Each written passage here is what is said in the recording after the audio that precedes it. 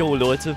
Ich frage mich bis heute, was die sich bei DW6 bei dieser Soundfall gedacht haben. Ich meine, what the fuck ist das? Das ist nur bei Linktop. Teilweise, wenn er stirbt, in der Kampfszene, dann kommt so ein komisches Störgeräusch da. Ich weiß nicht, was mit Linktong los ist, ob der irgendwie von Dämon kontrolliert wird oder sonst was. Immer wenn man den tötet, kommt so ein Hört man genau hin.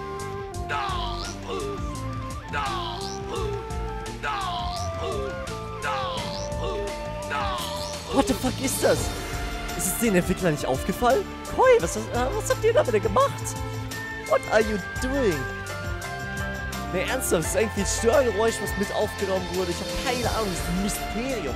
Das habe ich mich seit Anbeginn der Zeit, seit dem Release dieses Spiels schon gefragt. Und es hat mich auch beim ersten Mal richtig erschreckt, muss ich sagen.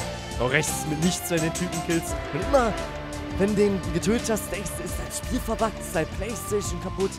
Das mir schon echt damals Angst eingejagt, aber es war immer nur bei Linkton. Und deswegen habe ich jetzt auch hier eine Soundgalerie gefunden. Bin diesem Mysterium nachgegangen und vielleicht wisst ihr da mehr.